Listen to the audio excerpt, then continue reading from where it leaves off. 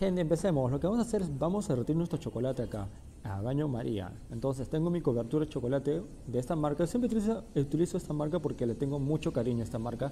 De niño comía muchos chocolates de 30 céntimos de esta marca.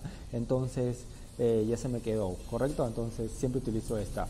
Lo que vamos a hacer es vamos a echarle agua hirviendo sobre un bol de aluminio, lo que yo utilizo bastante porque el aluminio se calienta muy rápido y eh, no, ayuda a que se diluya rapidito el chocolate.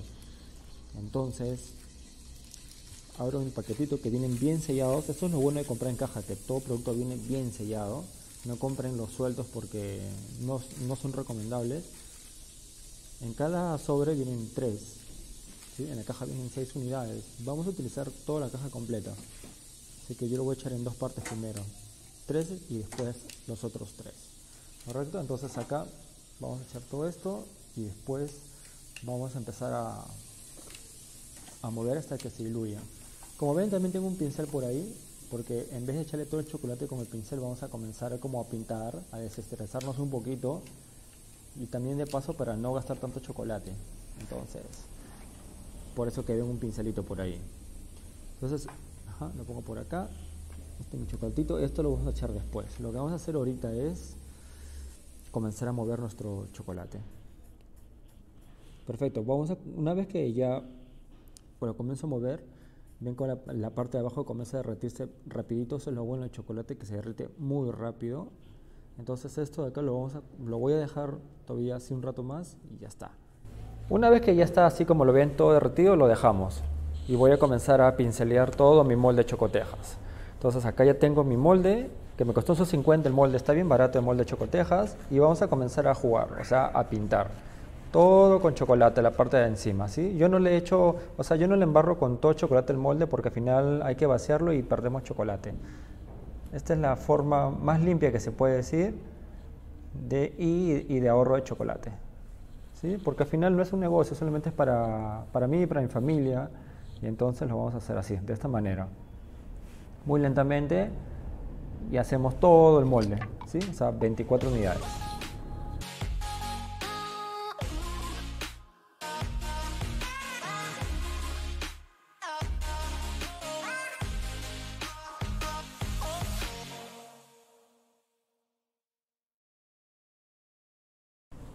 Otra forma también es que pueden agarrar una cucharita y le echan un poquito de chocolate y con el pincelito nuevamente vamos a comenzar a bañar todo. ¿sí? Solo que les va a quedar un poco más de chocolate, o sea, pierden un poquito más de, chocolate, pero si es su casa o para su consumo ustedes o para vender, échenle, pues no, ya depende de cada uno. Acá tengo mi mantequilla de maní. Siempre una mantequilla de maní, como tiene sus aceites naturales, tienen que moverla bien antes de echarla, ¿correcto? Para que no se les ponga todo duro la parte de abajo, del fondo porque todo el aceite va a subir. Entonces le vamos a echar una cucharita por cada una de las chocotejas. Entonces le vamos a echar una por una, sin aburrirse. Puede ser una mantequilla de almendras, le pueden echar de pecanas, le pueden echar de avellanas, le pueden rellenar de Nutella, el, clásico de marjar blanco, de lo que deseen. ¿sí? Lo bueno de chocotejas es que te agarra con todo. Generalmente le echamos una chancadita cuando ya está lleno por ahí para que cubra todos los lados y se vaya el, aire. Lo más clásico que van a encontrar siempre es de, puede ser de castañas o puede ser de pecanas, con coco, con pasas, con maní, pero todo enterito por la parte de abajo y encima con majar blanco, así. Eso es como lo más tradicional. Eh, eh, también le pueden agregar, como lo estoy haciendo esta vez, un poco más saludable el tipo de mantequillas, mantequilla de frutos secos, que es bastante saludable, nos va a dar bastantes energías. A nosotros, las personas que trabajamos un montón y necesitamos esos plugs o esos snacks que nos dan energía, esta es una muy buena opción.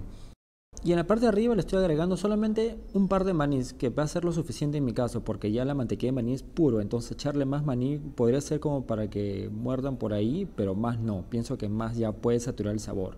Esto de acá lo vamos a guardar en la refri unos 20 minutos, nuevamente una pequeña sacudida y esto entre la refri 20 minutos. Miren cómo queda. Esto en realidad cuando se congela queda como un heladito bien rico. Ya pasaron 20 minutitos y ahora lo que vamos a hacer es rellenarlos. Sí, vamos a tapar la parte, la tapita con más chocolatito. ¿sí? Una cucharadita ahí que llenen todos los bordes, suficiente. Así que esto vamos a continuar haciéndolo todo, todo, todo, todo.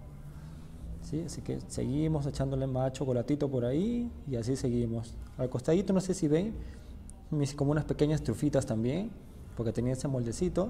Y esto lo vamos a congelar otros 20 minutos. ¿Sí? Correcto, miren, ya pasó 20 minutos y lo que vamos a hacer para desmolar es poco a poco vamos a comenzar a soltarlos y después de un golpe va a salir. Correcto, acá de una más, lo vamos a dar vuelta y sale. Así que le echamos y ya está. Así que ah, pongo la camarita por acá, cuadro un poquito porque es una vaina grabar. Me entenderán, acá tengo mi almendra, mi manicito. Algunos le echan almendra. Esta es mi marca de mantequilla, se llama Siri. Me lo pueden comprar, está en Facebook, en Instagram. bueno, es mi cherry y listo. Y ahora solamente destapamos, movemos un poquito por ahí para que se suelten y ya está. Listo, te va a quedar así todo acá y miren cómo queda. Esto ya está listo para comerlo, obviamente. Solamente si desean lo pueden comer así, lo vuelven en papelito o no sé, como quieran, en unas cajitas, como ustedes deseen.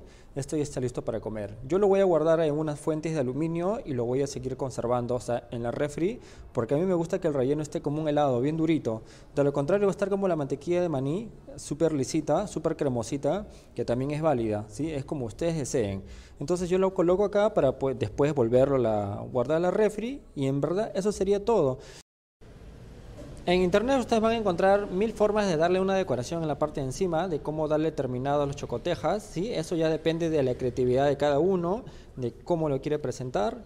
Eh, en mi caso yo solamente los quiero comer tal cual como están, así que acá yo los guardo acá y en la parte de abajito como van a ver ahorita hice unos 24 chocotejas más. Acá estoy guardando mis bombones con mis chocotejas y acá están los demás. ¿Correcto? Gente, es todo. Espero que lo puedan hacer, es bastante fácil. Yo lo, rellené con almendras. Mis bombones están rellenos de chocomaní con almendras. Hice otros de pecanas y obviamente el que vieron en el video que fue de maní. Como vieron, es bastante fácil de preparar, no se van a demorar mucho, se demorarán una horita en prepararlo, pero van a sacar 50 chocotejas, así que ya saben, si quieren lo pueden vender, más o menos pueden venderle un promedio de 3 lucas cada uno, o sea, 3 soles, porque la mantequilla maní no es barata, pero eso sí, las personas que les consuman es porque saben alimentarse. Gente, es todo por el video de hoy, nos vemos hasta la próxima, chao.